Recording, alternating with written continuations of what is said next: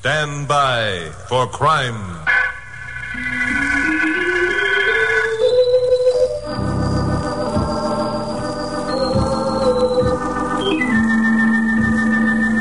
Hi, Chuck Morgan again.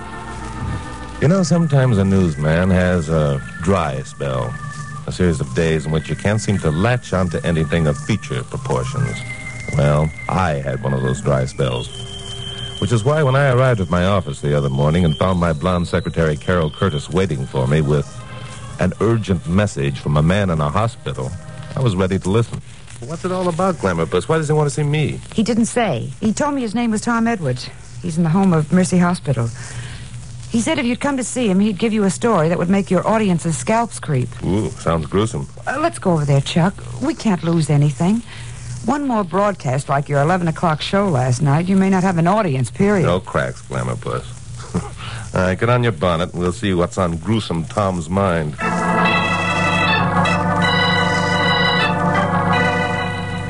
The home of Mercy Hospital is a huge pile of gray stones stacked up on a hill overlooking the great sprawling city of Los Angeles.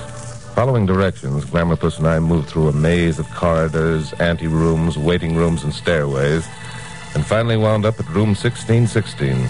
A nurse admitted us, and then she departed. Tom Edwards lay on a bed, swathed in bandages, with only his eyes and mouth visible. You're Chuck Morgan, KOP newscaster? Yes, that's right. This is my secretary, Miss Curtis. Hello. You seem to be in pretty bad shape, Mr. Edwards. Have an accident? No.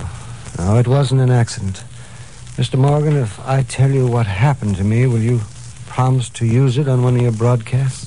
Well, I don't know. I can't tell at this point how much news value your story might have. It has news value, plenty. If you use it, Mr. Morgan, you'll be doing a great many people a favor. Fools like myself. You mentioned over the phone that the story would make people who listen to it have creepy scalps. That sounds kind of gruesome. It's more than gruesome, Miss Curtis. It's horrible. Horrible. Well, I guess you'd better let us in on it, Mr. Edwards, so we can begin adding up the score. And I have your promise? No, I'm sorry, but I can't do that until I know the facts. Just why are you so anxious to have Chuck's promise that he'll use the story, Mr. Edwards? Because if he doesn't, then everything will be for nothing. Just what do you mean by that? Because within 24 hours after you broadcast the story, I'm going to be murdered.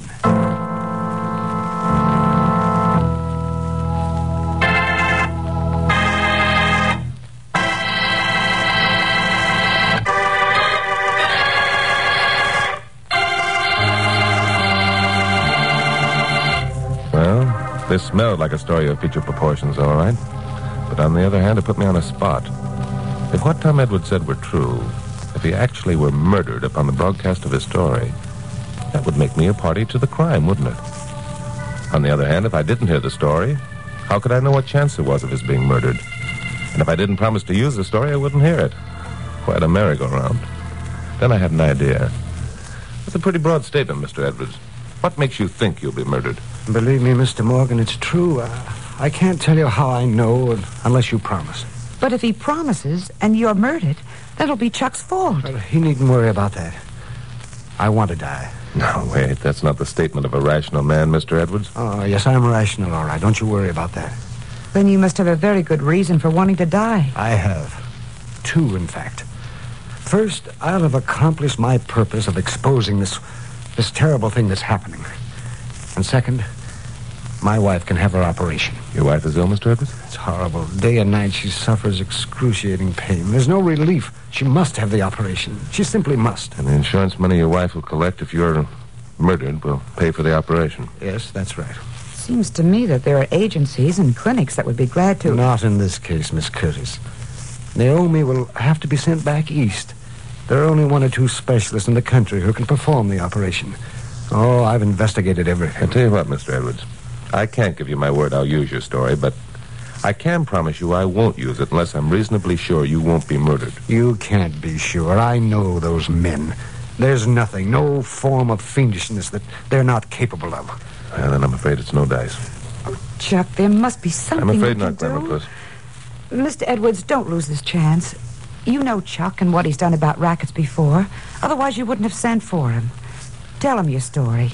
He'll find an answer to your problem. He always does. Now, wait a minute, Uh, Glamour. put your faith in him, Mr. Edwards. If this racket is as bad as you say it is, you're not being fair if you can stop it and don't. I'm. I don't know. Naomi. Oh, we'll take care of your wife. I can promise you that. She'll have her operation. Oh, yes, but the Don't money. Go uh, overboard, Glamour Puss. I'm not. If it's only money that's standing in the way, I'll get it myself. Where? Well, what difference does it make where? I'll get it. If Pappy Mansfield knew the circumstances, he'd put it up. Well, Mr. Edwards, If you can promise me that my wife. I can, and I already have. Now, tell us the story. Very well. I will. My wife's illness came on about a year ago. We had a few dollars saved, but her condition became increasingly worse, and it wasn't long before the reserve was gone. So I began to borrow from every source I knew. And then one day came the blow. We were told that she must have the operation. It was the next night when I came home to find Naomi worse than ever. Oh. Naomi? Is that you, Tom? Oh, oh, Naomi, darling, I, I couldn't see you in the darkness. I'll turn on the light here. There we are. Oh, Naomi. Oh. It's worse, isn't it? Yes, Tom, it's worse. Please don't worry. I'm sure I'll be better soon. Yes, Naomi, you will be better. You're going to have your operation. Oh, but Tom, the money. Uh, darling, listen to me. I had lunch today with a, a Mr. Bassett, Mr. Ray Bassett. He sat at my table in the cafeteria, and we fell into conversation. He must have guessed that I was in trouble by my attitude. And before I knew it, uh, I told him the whole story. And what do you think? What, Tom? He said he knew a way I could get the money. And if I'd come to his office tomorrow, he'd tell me about it. Your way of getting money? Oh, but Tom, darling, there's no way of getting money without working for Well, it. that's just it, dear. He has something I can do to earn the money. Well, naturally, I expect to have to work. It's strange you didn't mention what it was while you were having lunch. How does he know that it's the type of work you can do? It's such a large sum that we need, Oh, no, no, no, darling. Don't you worry about a thing. This Mr. Bassett's a nice chap. He was very sympathetic and understanding, and we should be grateful for his interest. Of course. We are grateful. Tom, you don't think he wants you to do something dishonest? Dishonest? Oh, well, of course not. Now, you just stop fretting. Let me handle this, will you? Well- I have an appointment with Mr. Bassett tomorrow morning at 9 o'clock. Oh. And after that, you're going to have your operation and be well and happy again. Oh, Tom. I promise you.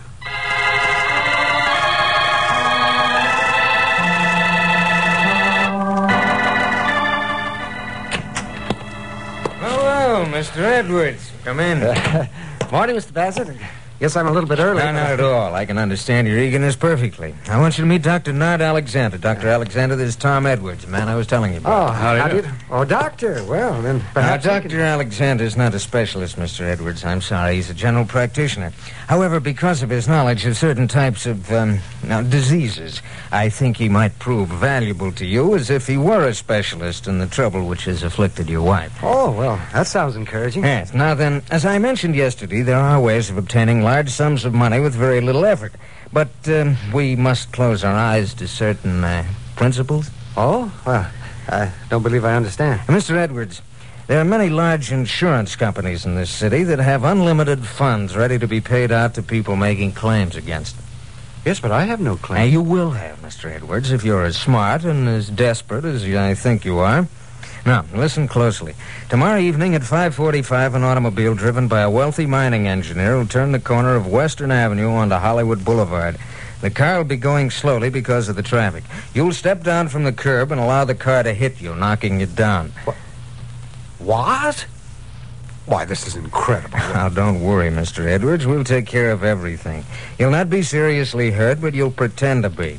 Dr. Alexander, being a physician, has the authority to have you removed in our car so no one will know the extent of your injuries. I'm an attorney, and I'll collect from the insurance company on the policy which you'll take out today. You'll be given half that amount. well, I, I, I just can't believe it. it. well, it's dishonest. Oh, Perhaps, a little bit. But the insurance company has unlimited funds. They expect to pay such claims. Why not to you? Oh, but I, I, I couldn't. Now, we're not compelling you to do this, Mr. Edwards. You said you were desperate. You said your wife would die unless she had her operation. You wanted to die, Mr. Oh, Edwards? no, no, of course not. But I. Can. And take my advice and cooperate. There's absolutely no risk where you can even close your eyes if you want to make the accident real. Well, I don't know. Uh, I don't know. Very well, Mr. Edwards. I'm sorry. I understood that you wanted your wife to be well and happy again. Uh, no, no. Wait a minute. Well, Um. Very well. I'll do it.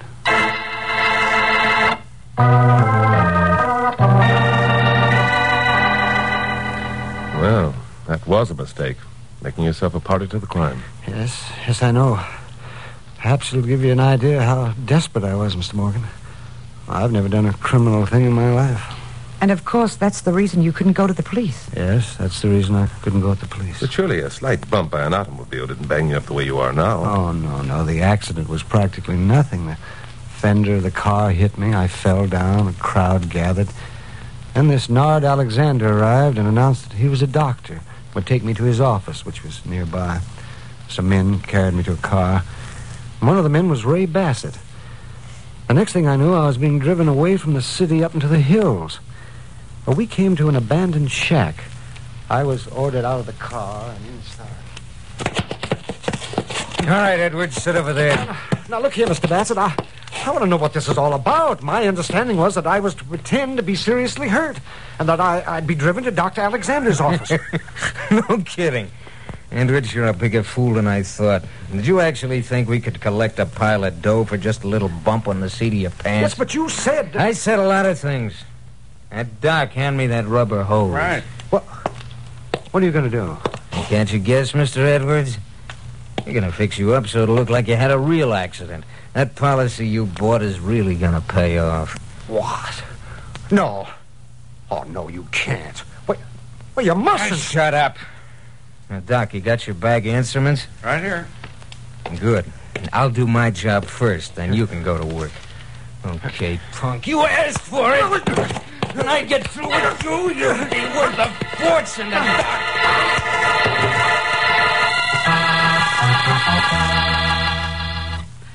How horrible.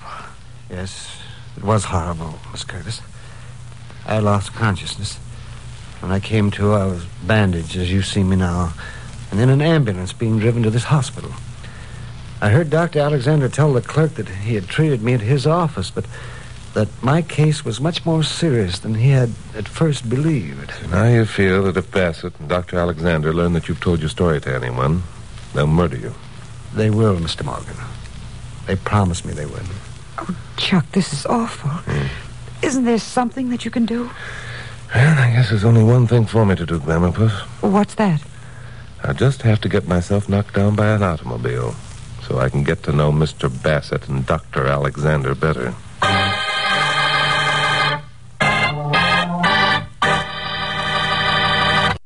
Now, the conclusion of Stand By for Crime. Well, it wasn't going to be as easy as all that. Tom Edwards gave us a good description of Bassett and Alexander and the address of the office where he'd been interviewed. Glamour and Puss and I went down there. But of course, the office had been just a front and was now deserted. So, as usual, we went back to KOP and kicked the thing around with my boss, Pappy Mansfield. It's a good yarn, all right, Chuck. But if you use it, you'll be endangering the life of this Tom Edwards. Yeah, I know, Pappy. That's why I'm not going to use it. Not until I get those two sadists behind bars. And Just how do you expect to do that? Well, Chuck's got an idea of setting himself up as a guinea pig, Pappy. Letting himself be knocked down by an automobile. Oh, and just what do you expect to prove by that, Chucky boy? I don't know. But before I start proving anything, I've got to locate the two guys who sucked Edwards in on this game. After that, I'll take it from there. Well, you've got a fat chance of finding them. I don't know. I've located missing persons before. Uh, how about the insurance company that sold Tom Edwards the accident policy? That's no good, Glamourpuss. He took out the policy himself, and he's his own beneficiary. When he collects, Bassett and Alexander will force him to turn the money over to them. Or they'll tell the police he got it under false pretenses. Oh, how low can you get? No, I, I, I think we've got to make a different approach. I think that approach should begin with Mrs. Tom Edwards. Put on your shoes, Glamourpuss. Let's go calling.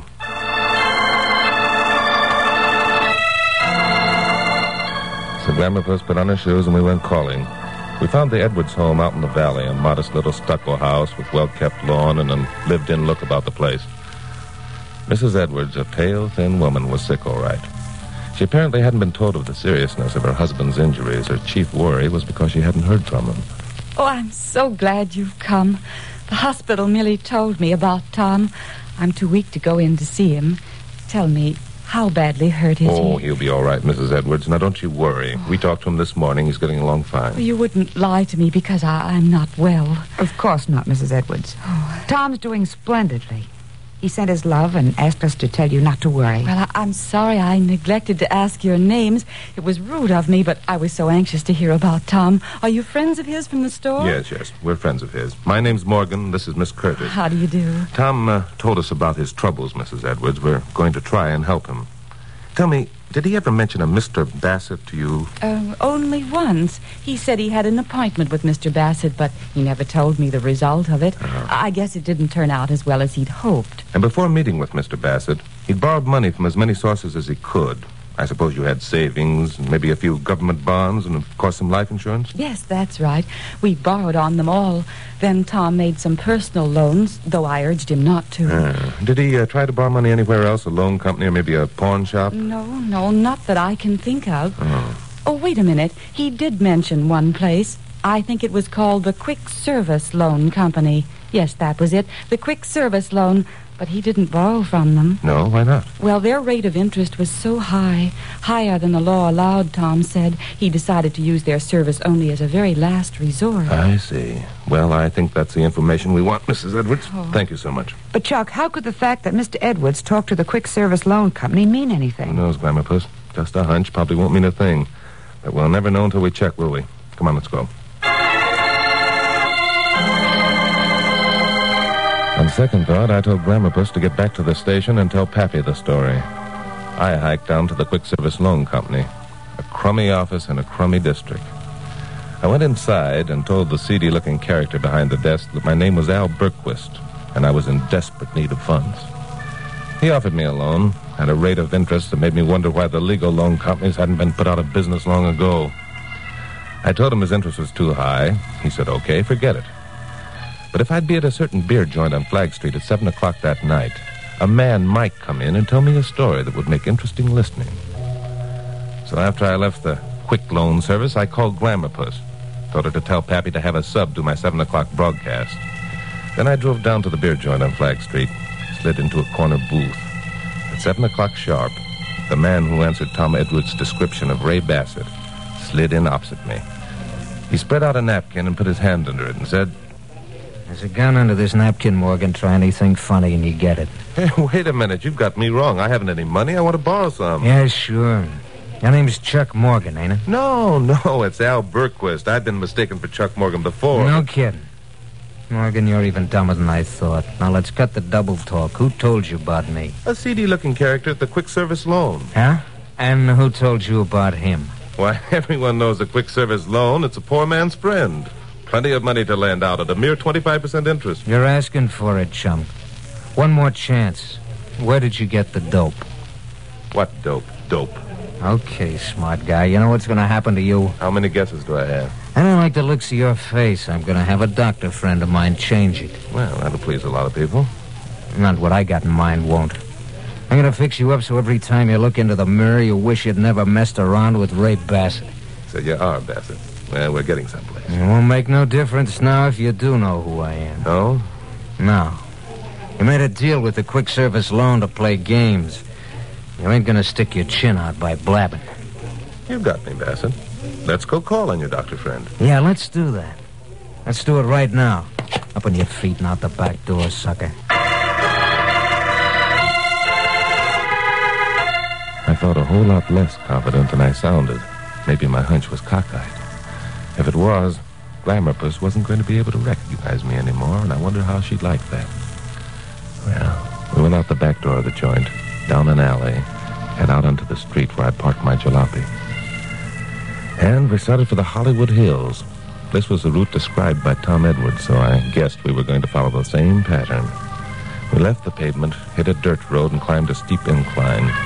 At the top, we swung around a curve, then I saw the abandoned shack off in the bushes. All right, get out. Keep your hands in sight. Sure, sure. Anything to oblige. Hey, better take a look at yourself in that mirror over there, Morgan. It'll be your last look at anything familiar about your mug. Thanks. Mind if I straighten my tie? It was a birthday present for my girl. Hey, Doc! Doc! The door opened, and a man came in carrying a physician's black bag. He had cold, inhuman eyes and a perfectly immobile face. Get out your tools, Doc. I got a job for you. Get out your tools, I said. But Doc didn't speak. He just stood there, staring at Bassett with his fish-like eyes. Bassett wasn't in any mood to be stared at without dialogue. Obviously, he was top guy in this outfit, and he wasn't taking silence for an answer when he gave an order. Look, Doc, I said get out your tools. I'm gonna do a job on Wise Guy here. And just because we ain't collecting no insurance money for it don't make no difference. Now get out your tools and go to work. Which was what I'd been waiting to hear, and so had a few other people. The door behind Doc Anderson opened, and Bill Miggs of police headquarters stood there. Bill had a gun in his hand. The door that led to the other side opened, and Pappy Mansfield stepped inside. Pappy also had a gun. Mr. Bassett was surprised, or maybe I should say shocked. He looked around in a dazed sort of way, not getting it, until Pappy said, All right, Bassett, we've heard all we wanted to hear. Get your hands up. Of course, Bassett didn't obey the order. He realized he'd be a cooked gander if he did. But I rather expected this attitude, so I was ready.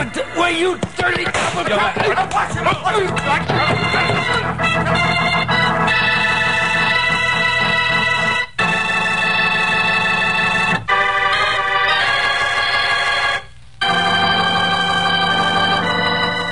Well, my hunch paid off. But every time I think about what would have happened if it hadn't paid off, I break out in a cold sweat. Bill Miggs took Doc and Ray Bassett off in one of the squad cars that was parked up the road a ways. And Pappy, Carol, who of course was standing by to see that everything went off right, and I drove down to Hollywood and dropped in at the Vine Street Derby for a late dinner. Chuck, some of these days you're going to get hung up on one of your bright ideas, then where'll you be? Now, don't answer that. But what do you think would happen if Mr. Bassett had taken you somewhere else besides that shack? Oh, don't answer that one either, Chucky boy. Ooh, I hate to think about it. It's a funny thing, but uh, I'm satisfied with your looks as they are. Well, you never were very particular, Carol.